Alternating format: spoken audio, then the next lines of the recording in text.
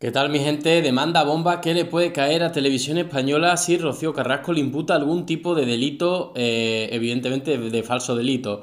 Em, bueno, esto es igual que, le está sucediendo a Mediaset. Si Televisión Española permite, como es lógico, eh, que Rocío Carrasco, Rocío Carrasco campe a sus anchas y eh, vuelva a seguir imputando delitos, al igual que hiciera con Telecinco, pues evidentemente le pasará lo mismo que a Telecinco.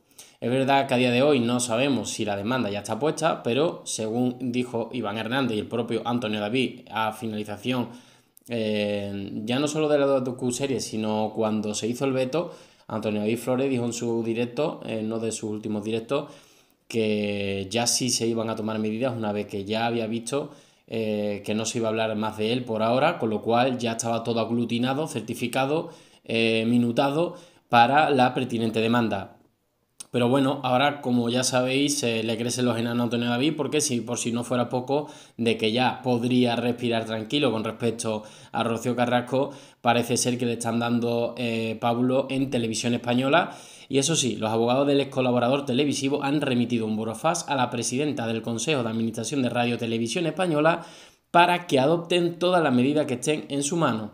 A ver, aquí hay un problema. El problema es que ya está grabado y entonces o cortan partes si se va a quedar eso raro, algo que haya podido decir ella, y me da a mí la sensación de que Televisión Española no se va a meter en muchas trifulcas y creo que vamos a ver muy poco a Rocío Carrasco contando su historia y la van a recortar bastante. Me da a mí la sensación, si no se quieren llevar una demanda.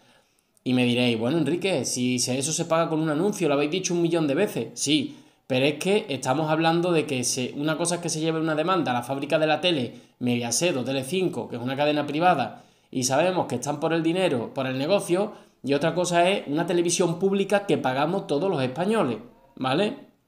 Esto ya, mm, una demanda por eh, permitir que una televisión pública eh, grabada, porque si tú dices, bueno, lo ha dicho en directo, no hay más remedio, se nos ha colado eh, el presentador, la presentadora, en este caso Julio Otero, pues la paraliza un poco ahí, la corta, le dice que eso no está bien, pero no, no, es que está grabado. Si encima se emite y eh, le dan voz mm, de tal forma que imputa un falso delito a Antonio David Flores, van a tomar medidas, según el confidencial. Bueno, os leo, el programa de Julio Otero recordará em, esta noche en Televisión Española mujeres que han hecho historia en la pequeña pantalla en un programa dedicado al 8M. La periodista entrevistará en Días de Tele a Rocío Carrasco sobre la repercusión que ha tenido su docuserie Telecinco. Es decir, para colmo, Televisión Española le va a preguntar a ella cómo le ha ido su docuserie y va a darle em, promoción a Telecinco. Me parece lo más absurdo que he visto en televisión en los últimos años. Pero bueno, hay una ley no escrita que tú estás en una cadena y no puedes hablar de otra. Pero bueno, por lo visto, según dice el confidencial, parece ser que va a hablar del documental, con lo cual entiendo el burofax que le ha mandado Iván Hernández eh, a, Televisión Española, ¿no? Y Leticia Dolera, eh, Dolera perdón, compartirá cómo es ser mujer en el cine. A la mesa se unirán posteriormente Jedet para aclarar todo lo ocurrido en los últimos eh, premios Feroz y mujeres que han roto techos de cristal con su trabajo como la futbolista Aitana Bonmatí o la eh, primera astronauta española Sara García. A mí el resto de, componentes me parecen estupendos, quiero dejarlo claro, ¿vale? No es decir, bueno, ya todo está mal, no, no, no. El resto de componentes me parecen estupendos, creo que han elegido las mujeres idóneas. Pero con motivo de este especial, los abogados de Antonio David Flores han remitido un burofax a Televisión Española para evitar que en el transcurso del programa se realice cualquier tipo de imputación de delito falso contra su cliente. El texto al que ha tenido acceso el ConfiTV ha sido remitido a Elena Sánchez, presidenta del Consejo de Administración de Radio Televisión Española.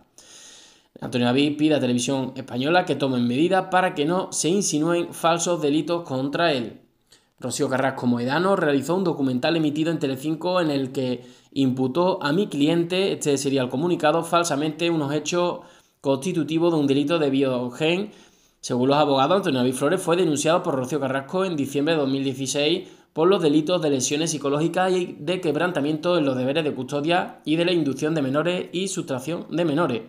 Esta denuncia dio lugar a un procedimiento que se instruyó ante el juzgado de violencia sobre la mujer el número 1 de Alcobenda, que dictó auto del 12 de marzo de 2018 de sobreseimiento respecto a los delitos de quebrantamiento de los deberes de custodia y de inducción de menores y auto de 12 de marzo de 2018 de transformación por un presunto delito de lesiones psicológicas. En el texto se informa a Televisión Española que el auto de sobreseguimiento fue confirmado por auto de la Audiencia Provincial de Madrid el 16 de noviembre de 2018, mientras que el auto de transformación fue revocado por el auto de la Audiencia Provincial de Madrid en la misma fecha, sobreseyendo la causa.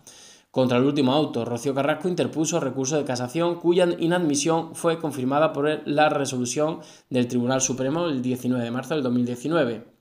Por todo ello, solicitan a Televisión Española y directamente a Elena Sánchez que prohíban y adopten todas las medidas que en su mano se encuentren para que en dicho programa de televisión, Días de Tele, no se realice ninguna insinuación y o imputación de delito falsa sobre Antonio David Flores.